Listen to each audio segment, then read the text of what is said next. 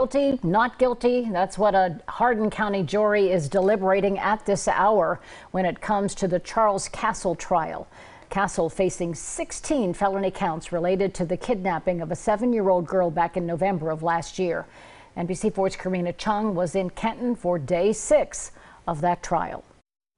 The jury deliberated for about an hour before coming back into the courtroom Monday afternoon. They didn't come with a verdict. However, they did want to see video evidence. The jury came back to view video evidence that was shown last week. Now, the 12 members rewatched video, including body camera video from the morning the child went missing and surveillance video from outside the family's home the night the kidnapping happened.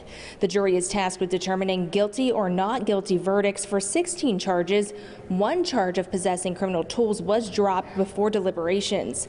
Castle's attorney Elizabeth Smith asked the jury to examine the child's testimony and interviews as they work towards a verdict. You may think that the little details that are different throughout her multiple statements given are not important, but they are incredibly important because it shows that she's an inconsistent and unreliable narrator or storyteller. The point is the girl was steadfast.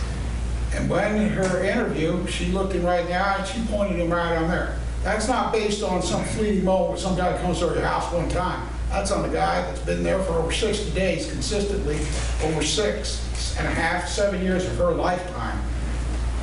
She knows who Charles Castle is. Again, the jury did not reach a verdict on Monday. They returned to the courtroom Tuesday at 8:30 in the morning.